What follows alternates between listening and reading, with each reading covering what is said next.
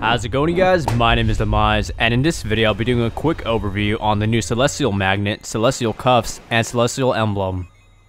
You can acquire the Celestial Magnet for 15 gold from the Traveling Merchant who will spawn randomly once you have at least 2 other NPCs and will then have a random set of items to sell. The Celestial Magnet increases the pickup range for mana stars and just makes things a little bit easier when you're trying to stay alive as a mage. The Celestial Magnet is then the common ingredient for both the Celestial Cuffs and the Celestial Emblem at a Tinker workshop.